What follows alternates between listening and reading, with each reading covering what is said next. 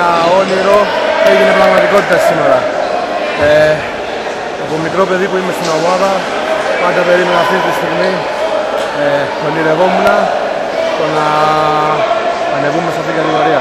Ονειρευόμουν να γίνω πρώτος προπονητής στην ομάδα, το κατάφερα, ονειρευόμουν ότι μπορούσα να, να, να ανεβάσω, βοήθησα και εγώ ό,τι μπορούσα για να γίνει αυτό μαζί με τα παιδιά, αλλά πραγματικά δεν είχαμε αυτούς τους αθλητές. Αυτούς τους αθλητές πραγματικά αξίζουν τα πάντα.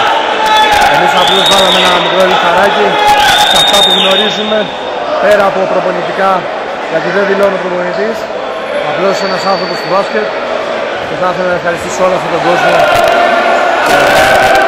και την οικογένειά μου που όλα αυτά έχει εξελιχθεί πολλά πράγματα και φωνές πολύ στο σπίτι μου και στη γυναίκα μου η οποία αυτή τη στιγμή είναι στην Αθήνα.